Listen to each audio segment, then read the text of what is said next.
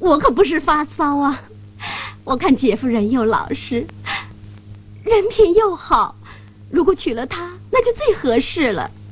她样子稳重，而且又带点挑逗性，两撇胡子简直爱死人了。看在两姐妹份上，你教教我怎么做，才可以打动她的心，令她向我投怀送抱。啊！我看你还是不要说话了，我自己想办法。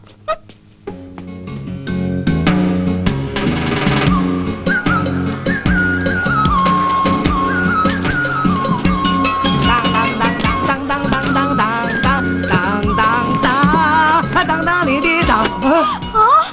你好大胆子！哇，你好厉害呀！居然被你看穿了！我叫梁宽，有病到保质针去看，不收你钱。小伙子，你真帅啊！你说什么？开个价吧。嗯，什么价？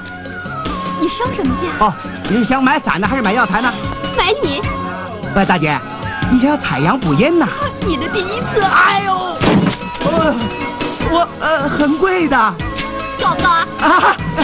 本来是不卖的，我看你这么有诚意，哎，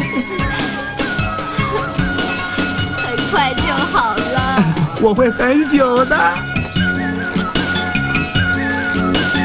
快点，春宵一刻呀！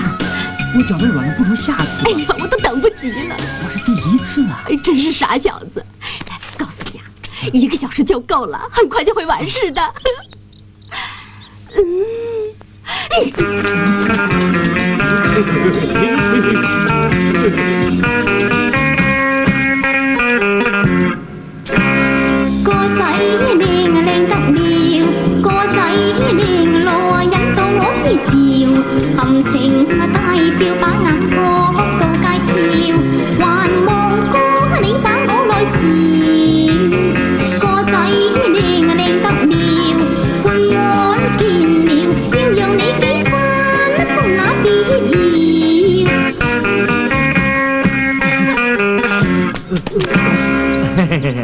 郎情妾意，看得我欲火焚身呐、喂，我这小姨子有龅牙最漂亮了，与众不同，只此一家。哎，阿珍呐，我可放心了，你终于找到了好归宿。